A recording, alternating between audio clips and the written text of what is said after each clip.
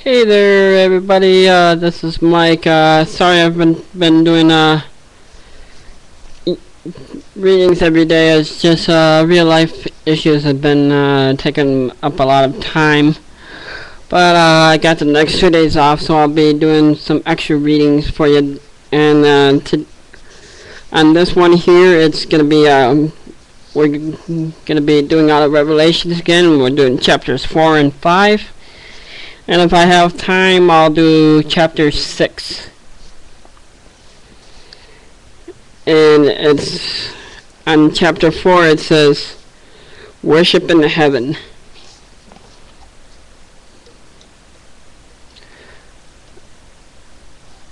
Uh, let's see. Then I looked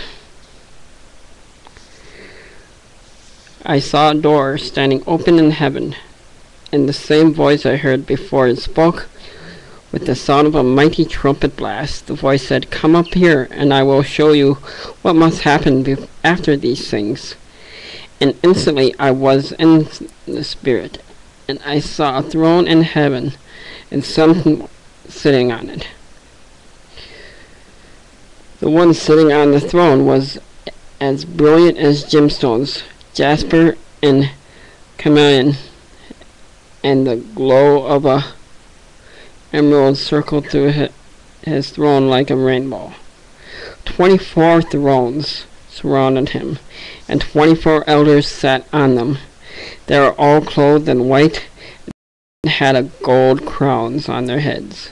And from the throne came flashes of lightning and a rumble of thunder and in front of the throne seven lampstands with burning flames. They are the seven spirits of the God. In front of the throne was a shiny sea of glass, sparkling like crystal. In the center and around the throne were four living beings, each covered with eyes, front and back. The first of these living beings had the form of a lion. The second looked like an ox.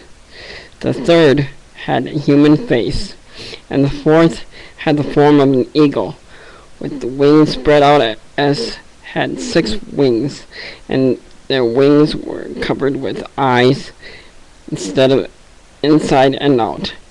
Day after day, night after night, they kept on saying, Holy, holy is the Lord God Almighty, and the one who always was, who is, and who is still to come. Whenever the living beings give glory and honor and thanks to one sitting on the throne, the one who lives forever and ever, the twenty-four elders fall down and worship the one who lives forever and ever. And they lay their crowns before the throne and say, You are worthy, O, o Lord, to receive glory and honor and power for you created everything, and it is for your pleasure that they exist and they were created. And from chapter 5, the, la- the Lamb opens the scroll.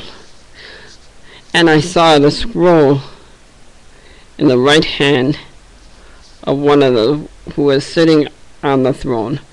There was writing on the inside and the outside of the scroll, and it was sealed with seven seals. And I saw a strong angel who shouted with a loud voice, Who is worthy to break the seal on the scrolls and unscroll it? But no one in heaven or earth or under the earth was able to open the scroll and read it. Then I wept because no one could be found who was worthy to open the scroll and read it. But one of the twenty-four elders said to me, Stop weeping. Look, the lion of the tribe of the Judah, and here to David's throne, has conquered. He is worthy to open the scroll and break this, its seven seals. I looked, and I saw a lamb that had been killed but was now four living beings among the twenty-four elders. He had seven horns and seven eyes, which are the seven spirits of God. And they are sent out to every part of the earth. He stepped forward and took the scroll from the right hand. And one was sitting on the throne, and he took the scroll of the four living beings, and the twenty-four elders fell down before the Lamb. Each one had a harp. They held gold bowls filled with incense, the prayers of God's people. And they sang a new song with these words You are worthy to open the scroll and break its seals and open it. For you we killed, and your bl- blood has ran, ransomed people for God, for, for every tribe and language and people and nation, and have ca- caused them to become God's kingdom and his priests, and they will reign on the earth. Then I looked again, and I heard the singing of thousands and millions of angels around the throne, and the living beings and the elders. And they sang in a mighty chorus The Lamb is worthy, the Lamb was killed. He is worthy to receive the power and riches and the wisdom of strength, and honor and glory and blessing. And I heard every creature in heaven on and on the earth and under the earth and in the sea. They also sang. Blessed and honor is the glory and the power belonging to the one sitting on the throne, and to Lamb forever and ever. And four living beings said, Amen.